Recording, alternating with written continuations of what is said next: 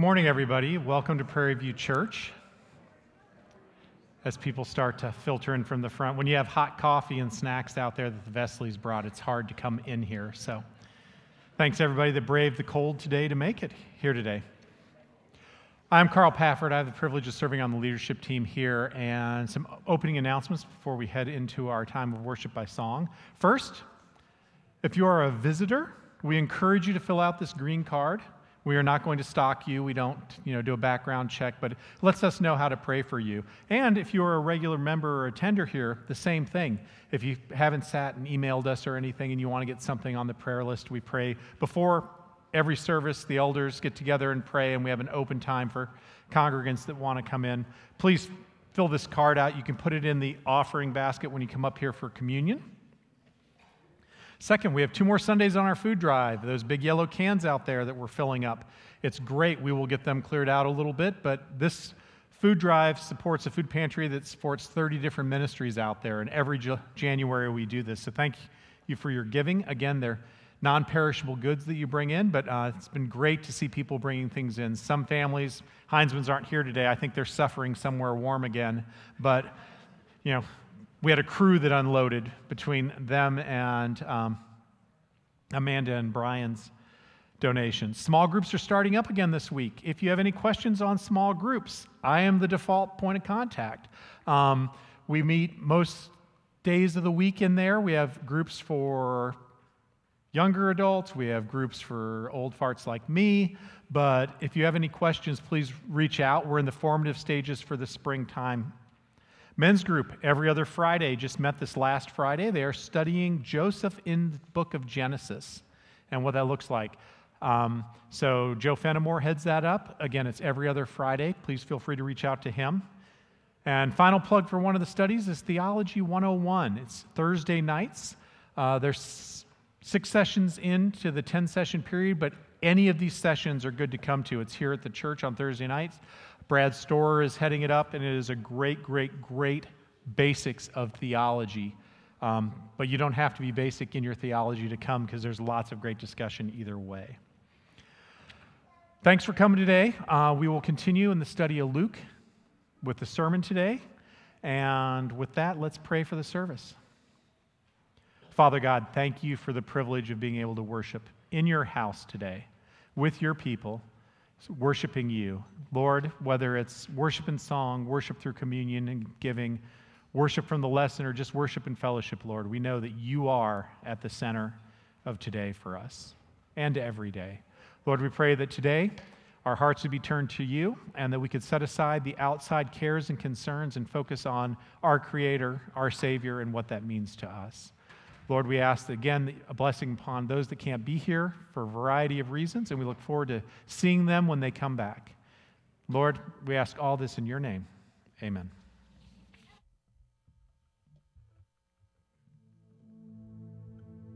Well, good morning. Uh, would you stand if you can and sing with us?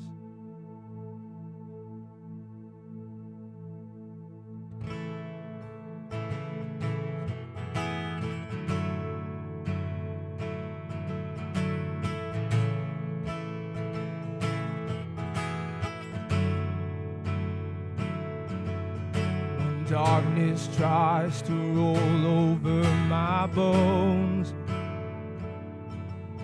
When sorrow comes to steal the joy I own. When brokenness and pain is all I know, I won't be shaken. I won't be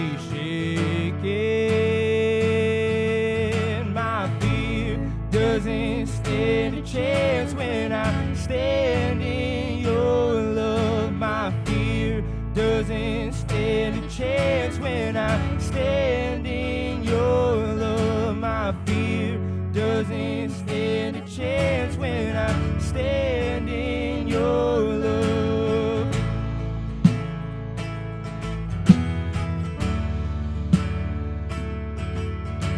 Shame no longer has a place hide.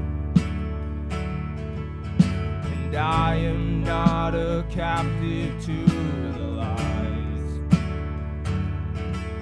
I'm not afraid to leave my past behind. I won't be shaken. I won't be shaken. My fear doesn't stand a chance when I'm doesn't stand a chance when I stand in your love. My fear doesn't stand a chance when I stand in your love.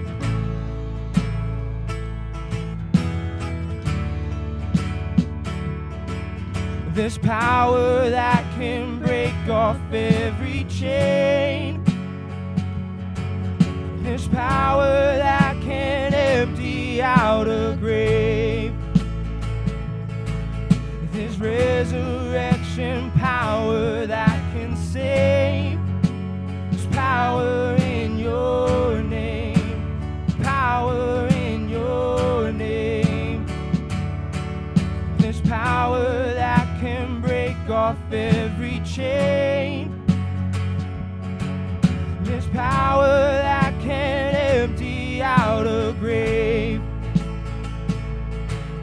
There's resurrection power that can save. There's power in your name. Power in your name.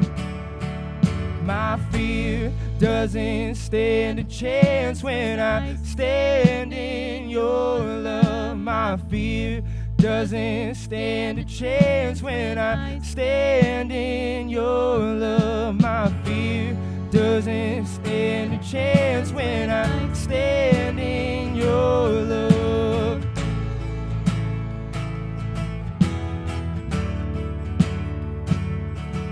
My fear doesn't stand a chance when I stand in your love. My fear doesn't stand a chance when I stand in your love. My fear doesn't stand chance when I stand in your love.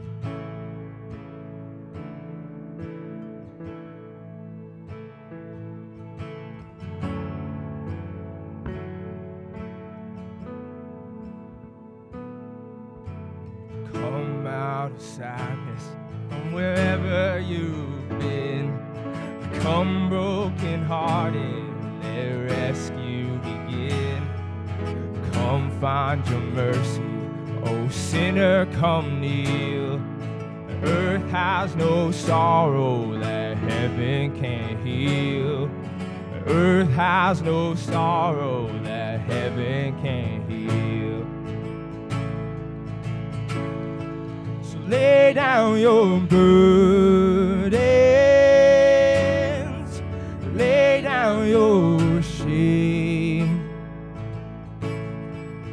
All oh, who are broken, lift up your face.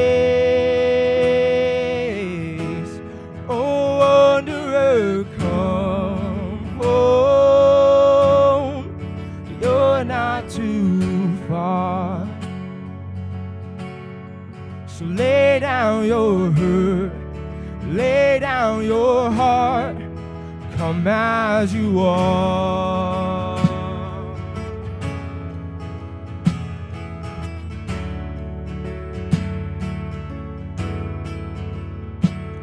There's hope for the hopeless and all those who've strayed. Come sit at the table, come taste and grace.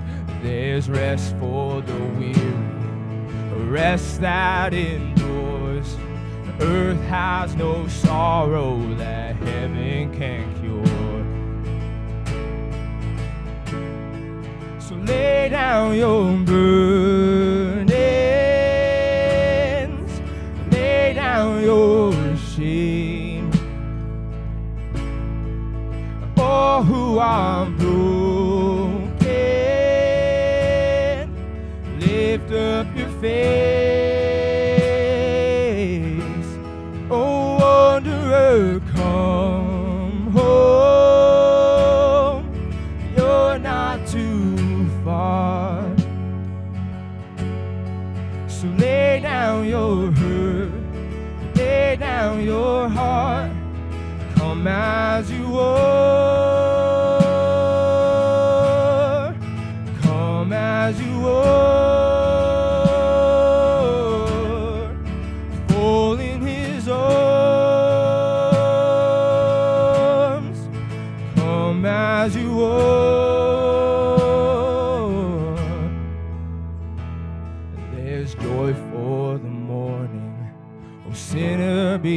still.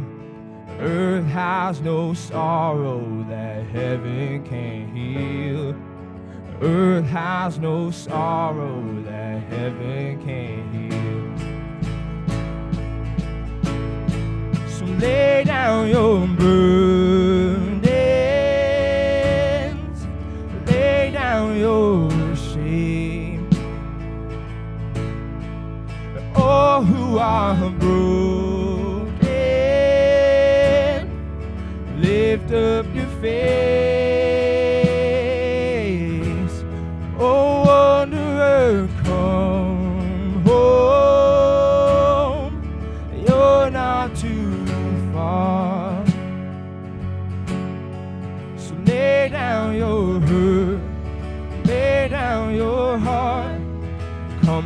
as you are,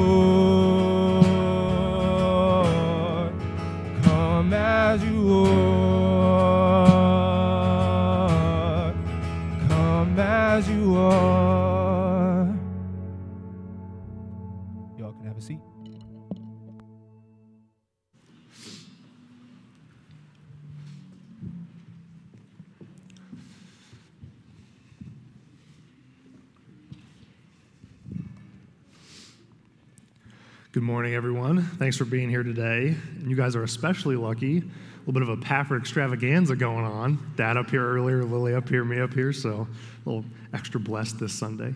Uh, uh, this is the point in the service where we um, come to communion and offering. And as I was pre- preparing for this week, I was looking at, I was, I was trying to find how often in a, in a day or in a week, a month, do, in, does an average person fail? At, at, at, anything. Um, you know, not, not necessarily with, with faith or with church, uh, but just overall with life. And I couldn't come up with a concrete number, partly because it's a hard metric to, to, to measure. You know, how do you justify what a failure is? Failure is different in different people's eyes. So it was hard to, hard to come up with a number. But what I did find was a ton of motivational quotes. And, you know, Thomas Edison failed 10,000 times for inventing the light bulb. And, you know, all these tech moguls, they fail all the time. Yada. Oh, good? Cool. Um, so when I come across all those, you know, I may not have a number for how often we fail, but judging by the amount of information and an experience that humanity has with failure, I can say it's a lot. People fail all the time. Uh, we fail our friends and our family and each other, and we fail ourselves. And we also fail, no surprise, God. So as, as we're looking, you know, at failure, obviously failure in society's eyes and the world's eyes doesn't exactly measure up with sin, with failure to God. But often that failure does overlap. So when we're looking at, at that failure, when we fail God, when we sin, you know, it's not something that we do, you know, every once in a while. We fail God all the time, in the big and the small. You know, maybe it's a, a white lie, which for whatever reason people seem to think is, is less bad than a, a large lie. Or maybe it's you know you're stealing you're you're you're taking from somebody you know god forbid it's it's murder it's something larger than than that we still fail god all the time as we're looking at failure you know it, it, it, can be easy to think that i've failed too much for god you know maybe i've done one big thing and that's that's too much for me to be saved or maybe it's all those small things they add up and god can't possibly see the good and the worth in me but that is just not true. See, God sees us not for our failures, but for who we are in Him. When we repent and when we turn to Christ, all those failures and all that sin, it's, it's washed away. It's amazing. God doesn't see that, and that's wiped clean from our record. So I want to read a little bit out of Romans, Romans 3, uh, 21, and a little bit onward. Chances are you've probably heard these verses before, um, but I'll read them here.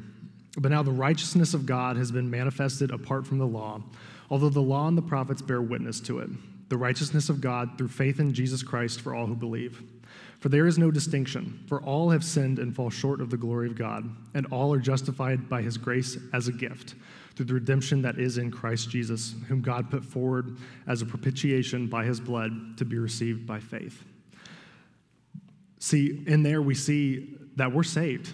See, we don't have to worry about our failures dragging us down and keeping us from God in eternity. We have that record wiped clean by the blood of Jesus spilled on the cross. So as we come to this time of communion, I ask that we you know, look not only at our sin, um, at our failures to God, you know, this past week, month, year, whatever it is, but also we rejoice. We are saved in Christ. We can look to the cross. We can look to heaven and know that, you know, our failures and our sins will not keep us here and apart from God, but when our time comes and we leave this earth, we have hope and we have faith that we're going to join God for eternity. And that is such an amazing thing um, that we're just not kept apart from God from our failures. So, here in a minute, I'll pray um, over us, and you can come up and get the bread and the juice. Um, at that time, I know, Dad, if you're a visitor, um, Dad had the green card. Fill out that green card, put it in the bucket. Um, and if you're a member here, um, feel free, you're expected to give um, as well offerings into those, into those black boxes. If you'll pray with me. God, thank you that we have today not only to come and worship you and to learn more about you, but also we have this time to, to think and reflect and praise you for your sacrifice on the cross. God, we wouldn't be able to, to join you in eternity. We wouldn't be able to be a part of your family if it wasn't for Jesus' sacrifice. Um, that blood spilled um, and, and just that saving grace that we have. So, God, I pray that as we think and reflect on that, that you really put on our hearts the, the joy and the, the wonder that is your sacrifice for us. And we can understand that it's not our failures keeping us apart from you, but it's your grace that brings us to you. We love you and praise you. Amen.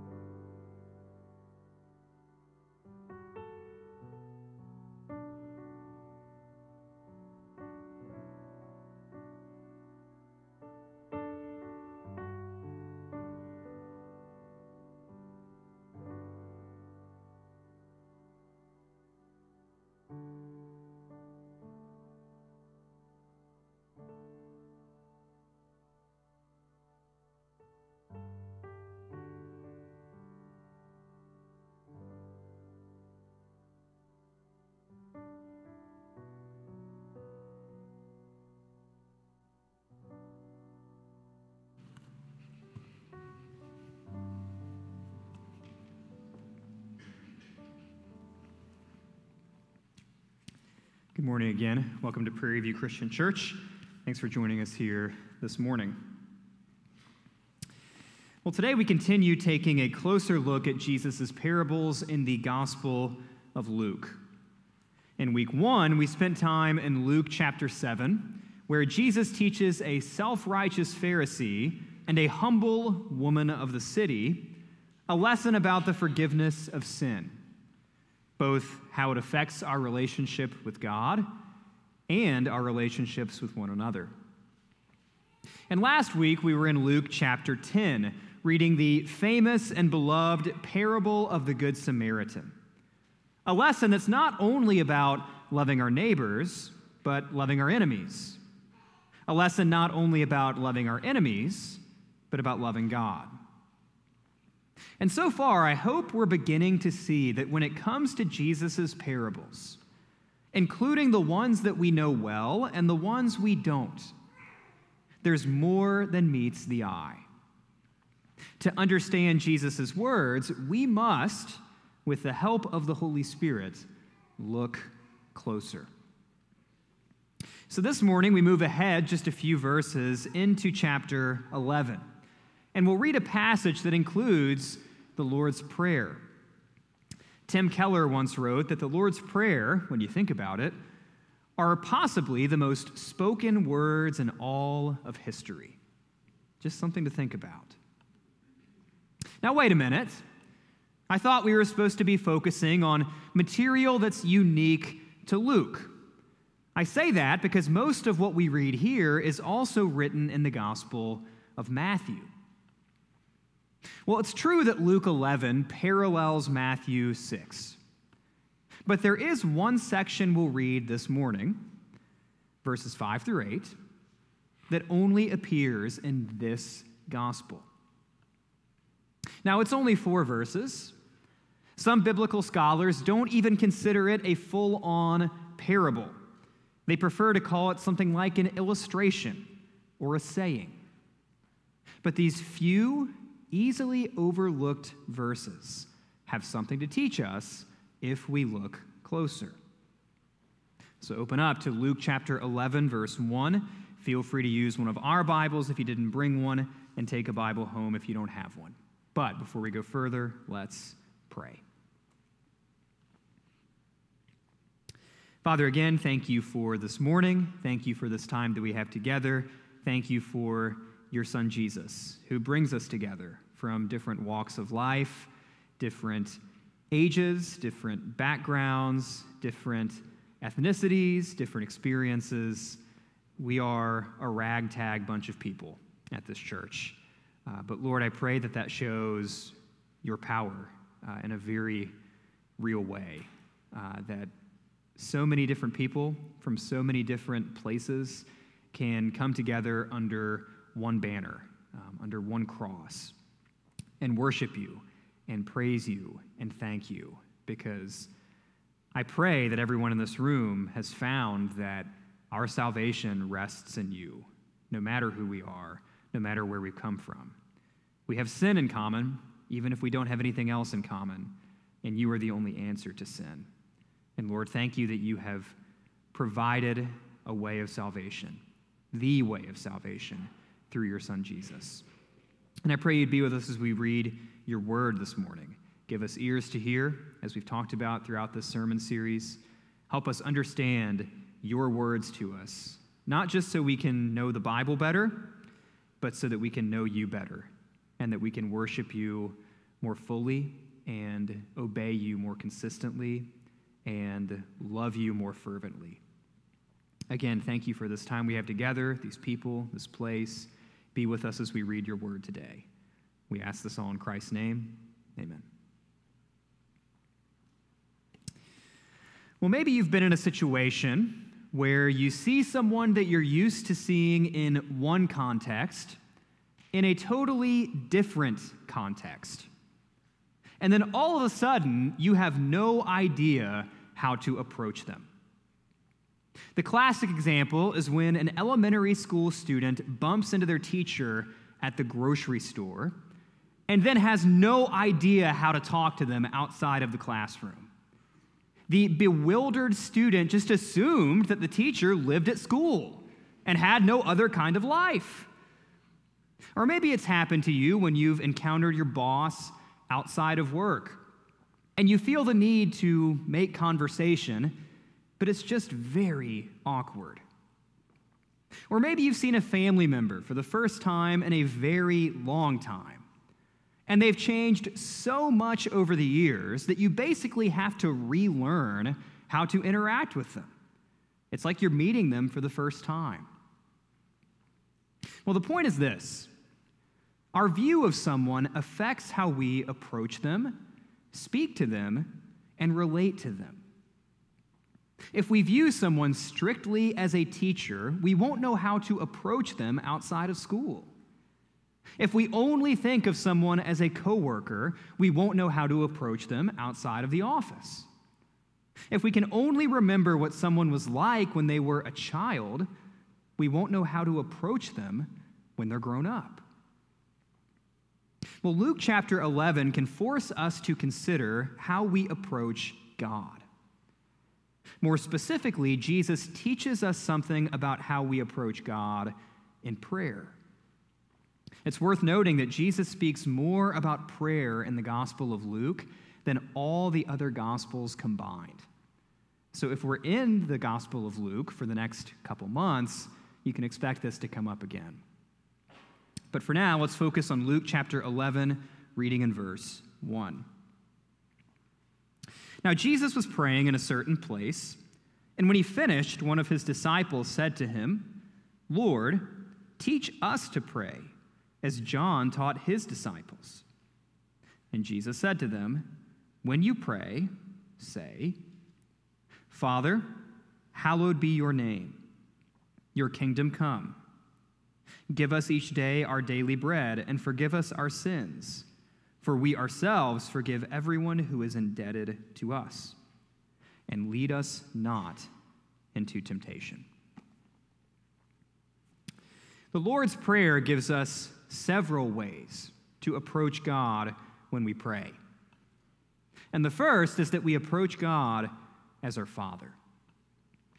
Now, on the one hand, there is a unique sense in which Jesus is God's Son in a way that we will never be.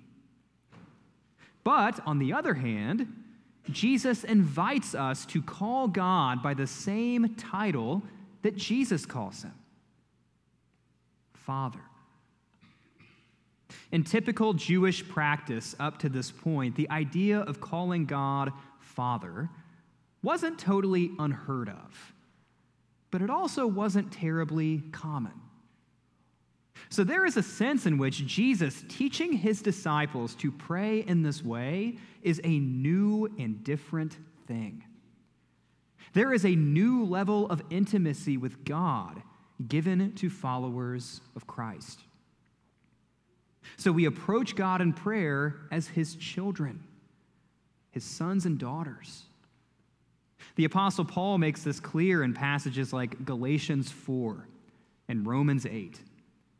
Because of who Jesus is and what Jesus has done on our behalf, we are, by grace through faith, God's children in a way that we simply were not before.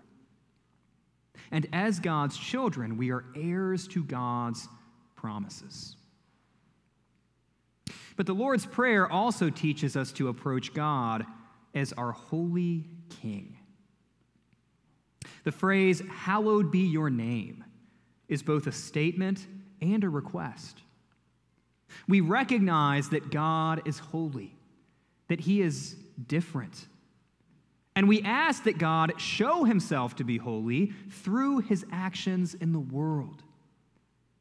And by the way, Matthew's addition of the words, your will be done on earth as it is in heaven? Those words remind us that as king, God's will is greater than ours.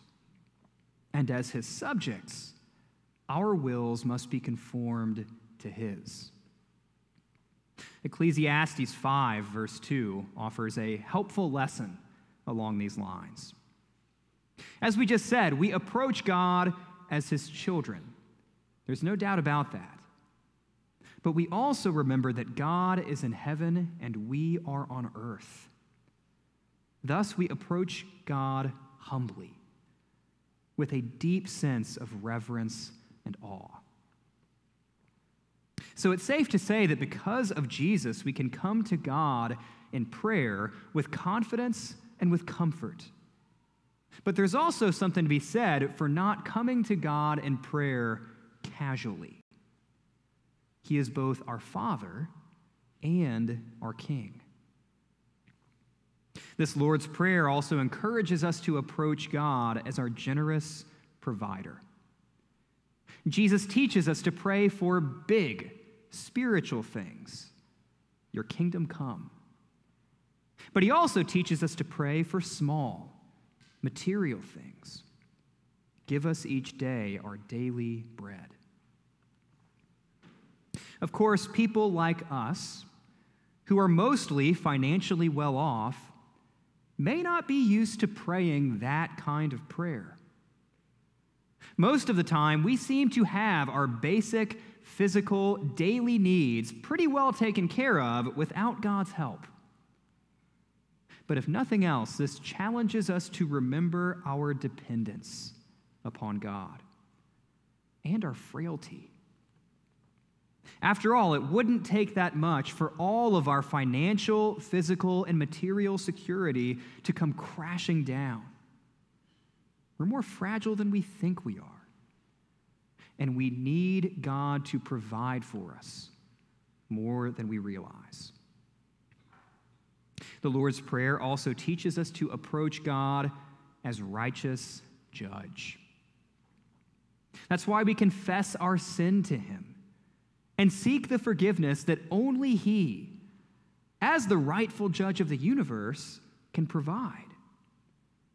When we come to God in prayer, we recognize ourselves for who we really are on our own fallen and sinful.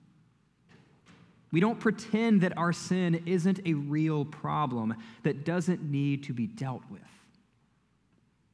But thankfully, God has proven himself more than willing and more than capable to deal with our sin through his son's death and resurrection.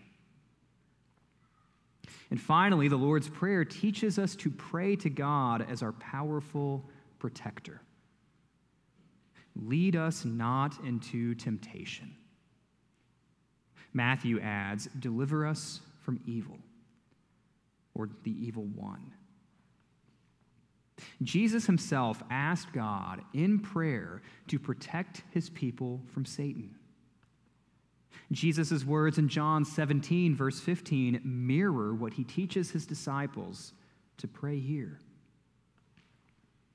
There's no shortage of temptation to sin in our fallen world. Even after we believe in Jesus, our flesh sometimes works against us. And yes, the devil is real. And as the Apostle Peter writes, he prowls around like a roaring lion. Folks, we have all the reason in the world to pray to God as our powerful protector. But with all that said, let's come up for air for just a moment, because that's a lot to take in. And we haven't even gotten to the parable yet. There's infinitely more that can be said about the content of the Lord's Prayer. That's why we devoted an entire sermon series to it a few years back. But for now, let's continue focusing on our approach to God in prayer. We come to Him as our Father, our King, our protector, our judge, and our provider. But then to drive this point even further home, Jesus gives us those parables. He helps us understand his words by telling us what God is like and what God is not like. That's where we pick up in verse 5. Jesus said to them, Which of you who has a friend will go to him at midnight and say to him, Friend, lend me three loaves, For a friend of mine has arrived on a journey, and I have nothing to set before him. And the friend will answer from within, Do not bother me. The door is now shut, and my children are with me in bed. I cannot get up and give you anything. I tell you, though he will not get up and get him anything because he is his friend, yet because of his impudence, he will rise and give him whatever he needs. And I tell you, ask, and it will be given to you. Seek, and you will find. Knock, and it will be open to you. For everyone who asks receives, and the one who seeks finds. And to the one who knocks, it will be opened. What father among you, if his son asks for a fish, will instead of a fish give him a serpent? Or if he asks for an egg, will give him a scorpion?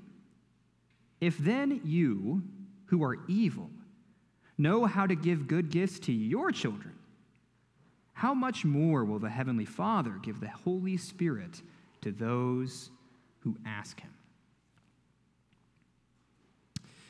Now, I don't know about you, but when I read this parable, my attention naturally goes to the man who wakes up his neighbor. And perhaps the reason that I do that, or we do that, is that we read this parable and think of those pesky telemarketers who call during prime dinner hours, or those solicitors who knock on the door at inopportune moments and won't take a hint that you're not interested.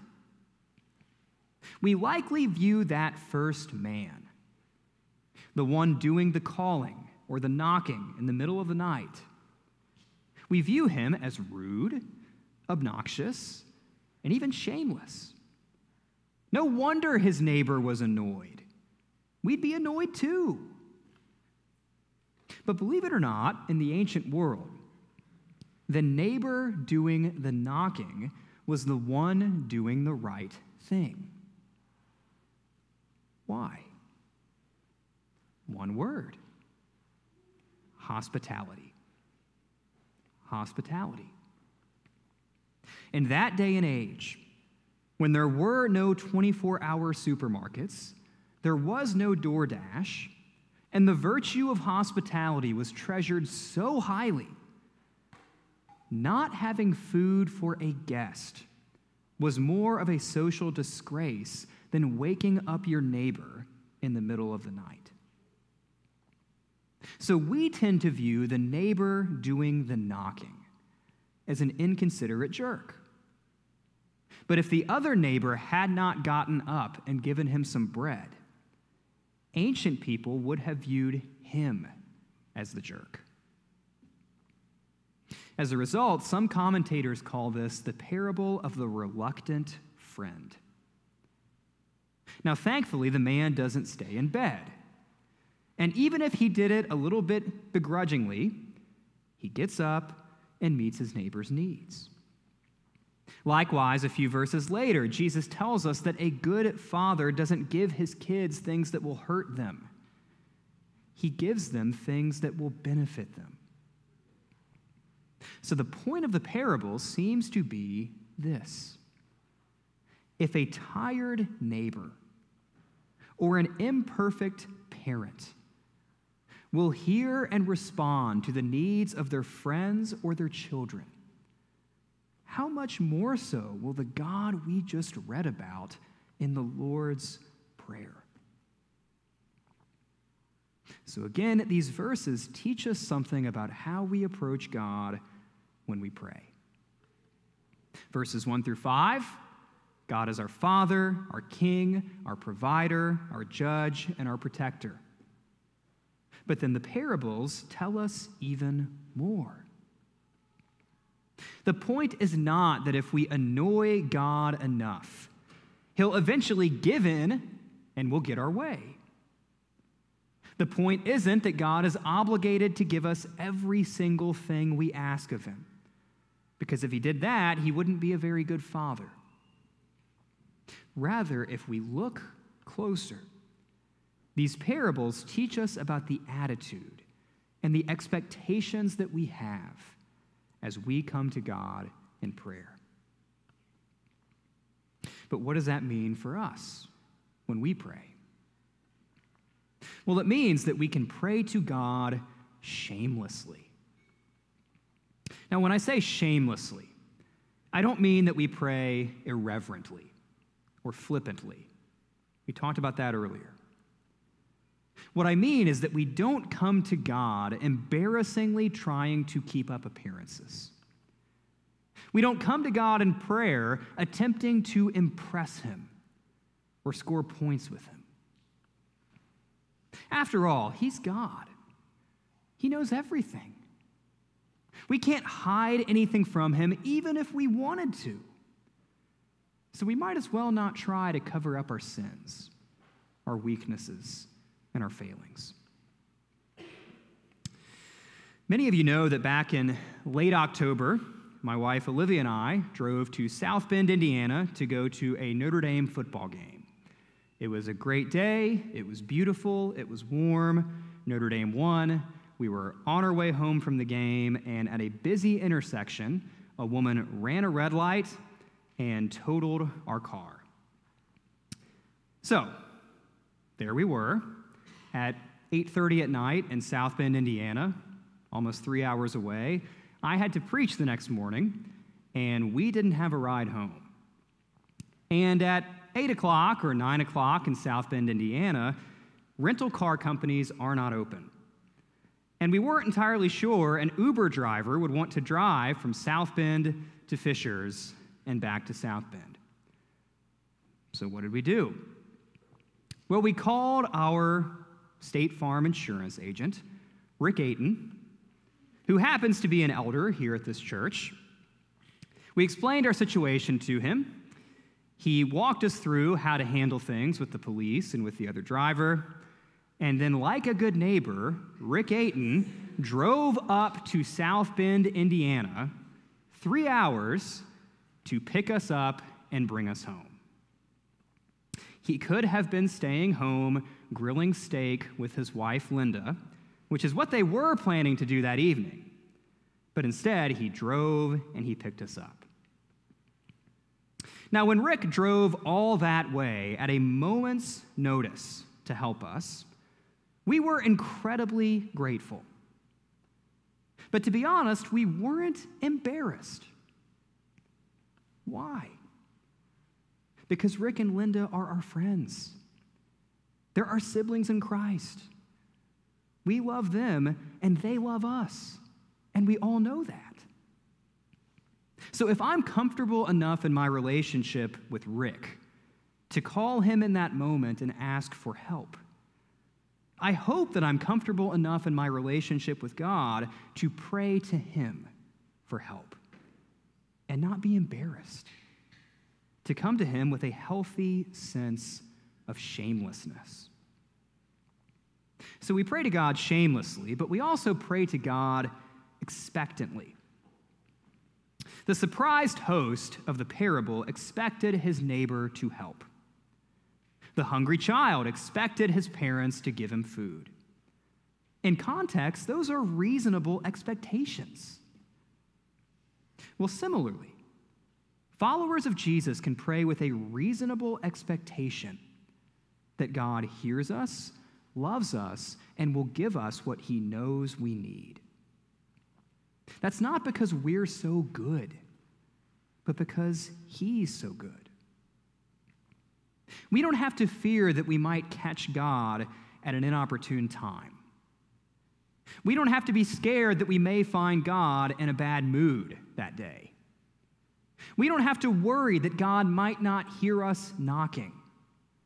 Psalm 121 tells us that the God of Israel neither slumbers nor sleeps. Our prayerful expectation of God's help is based on the fact that He has already given us what we need more than anything else. He's given us His Son, He's given us His Spirit. So we approach God shamelessly, we approach God expectantly. But we also approach God in prayer with a well informed understanding of who He is. Think back to our illustration from earlier.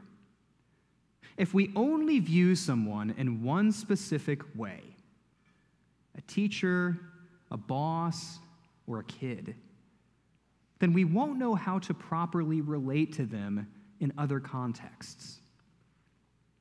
In the same way, if we only view God in one way, if we isolate the truths, the attributes, the roles of God that we've talked about this morning away from all the others, we won't approach Him rightly in prayer.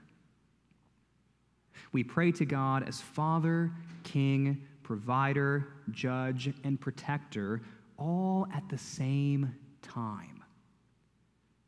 We can sing a very reverent hymn like Holy, Holy, Holy, the way we did a few minutes ago, and sing a song like What a Friend We Have in Jesus, the way we're going to in a few minutes. We can sing both of those songs in the same service because they're both true.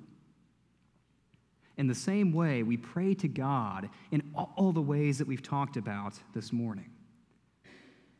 And if we do not have that well informed biblical understanding of who God is, our approach to Him in prayer will likely get off track. We'll fall into the trap of coming to Him too casually, on the one hand, or just as dangerously, on the other hand, we might come to God too coldly. Now, in the end, it's because of who Jesus is and what Jesus has done that we can come to God in prayer to begin with. We can approach Him with confidence and with comfort. We can stop the charade of keeping up appearances. And we can expect that He will help us. We expect that because He already has helped us. He's given us His Son, and He's given us His Spirit. So don't take the privilege of prayer for granted.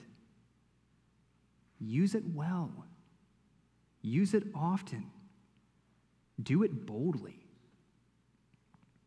In the words of Johann Spangenberg, who is a German theologian, a contemporary of Martin Luther, he writes Knock on the door of God's fatherly heart with the hammer of prayer. Do it knowing that God hears you, knowing that God loves you, and knowing that God will give you what you need most. That's Himself. Let's pray.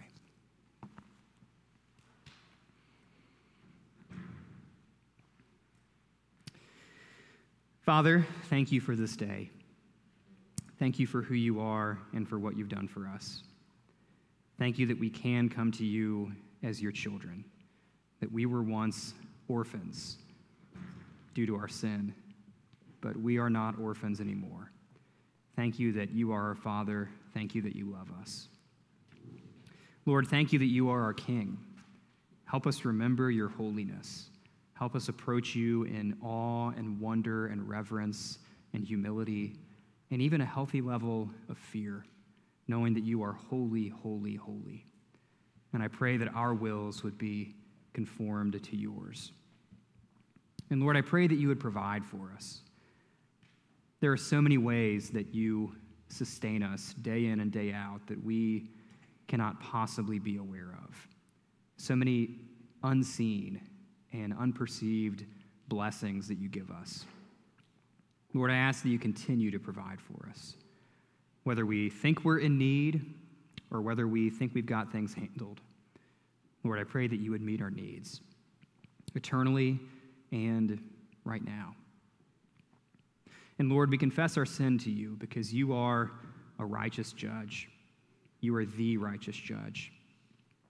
But Lord, thank you that you are so righteous that you are just to forgive our sins when we bring them to you because we've believed in Christ. So, Lord, thank you for dealing with our sins once and for all on the cross. But, Lord, I pray that you would help us to leave our sin behind, bring them to you, confess them to you, understand that we are forgiven by virtue of Christ, and live as the forgiven people that we are. And Lord, I pray that you would protect us. There's no shortage of temptation, there's no shortage of potential attack out there from the evil one. And the world, in so many ways, is still very much a fallen place. So we ask for your help, ask for your protection to sustain us and preserve us until we see your face. Lord, I pray that you would protect us. Thank you that we have this wonderful privilege of prayer. Help us not take it for granted. Help us know the price that was paid to secure this right for us, to call upon your name and know that you hear us. Help us use it well. Help us use it frequently.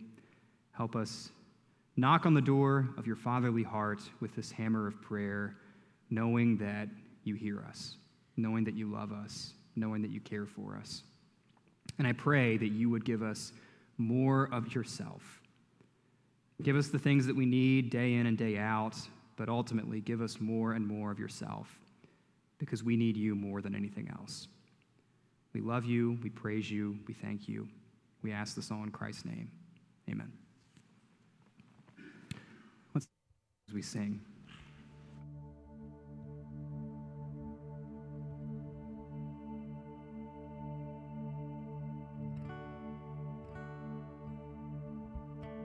What a friend we have in Jesus. All our sins and griefs to bear. What a privilege to carry everything to God in prayer. Oh, a peace we often forfeit. Pain we bear. Oh, because we do not carry everything to God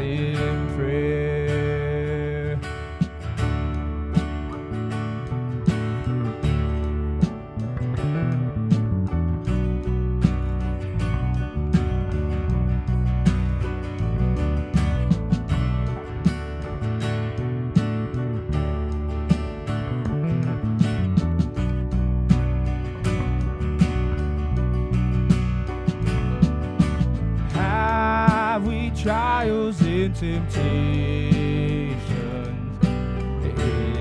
Is there trouble anywhere?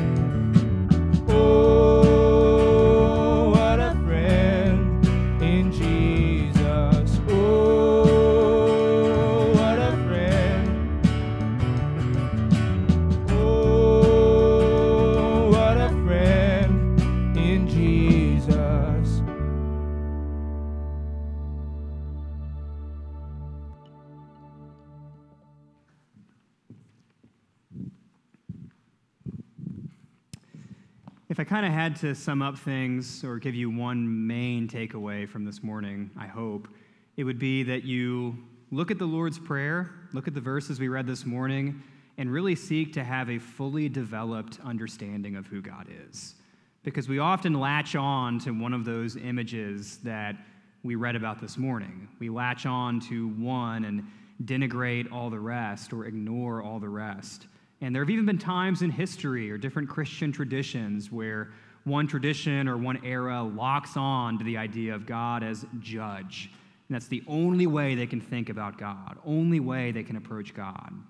Or some people lock on to the idea of God as provider, and He's just there to give me what I want and take care of my physical or material needs. Well, again, I want us to really look at the Lord's Prayer in its entirety and lock on to all of those things we read about this morning.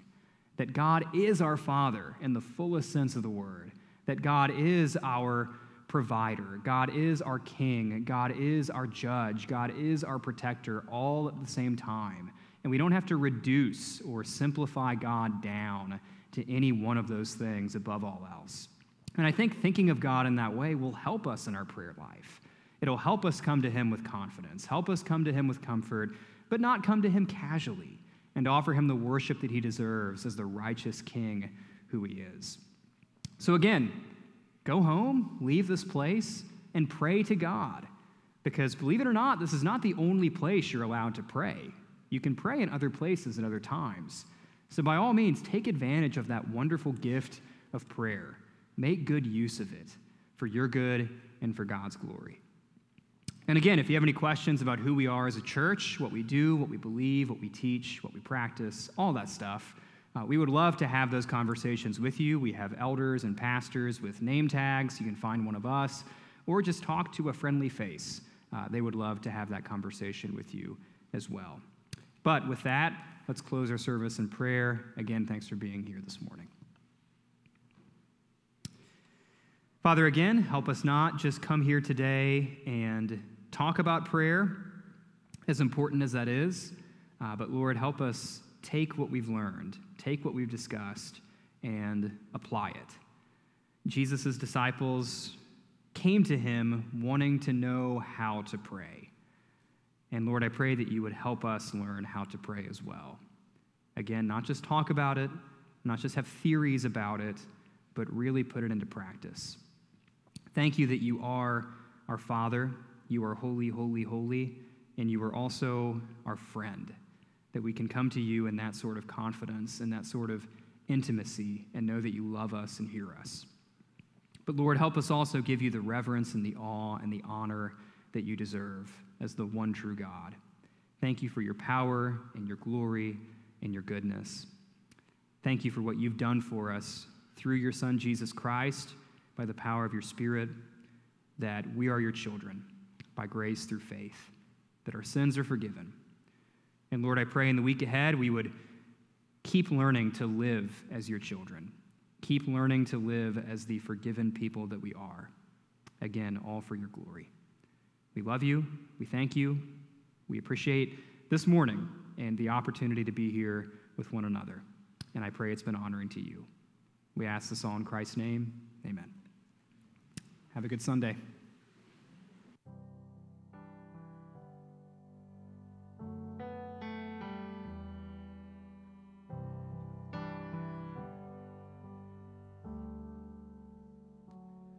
as the